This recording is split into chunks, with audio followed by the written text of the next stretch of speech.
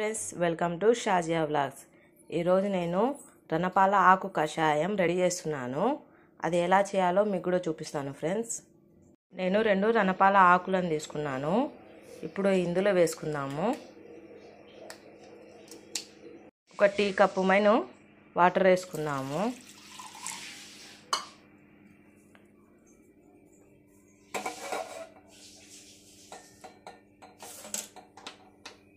Gas on చేసుకుందాం.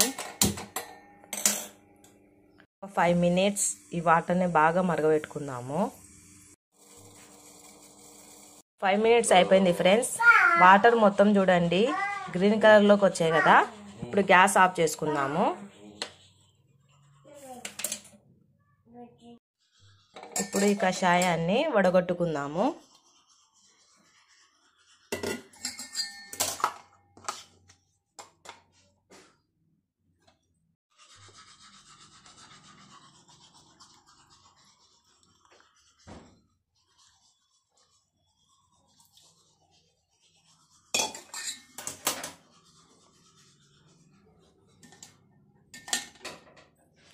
రణపాల ఆకు కషాయం రెడీ.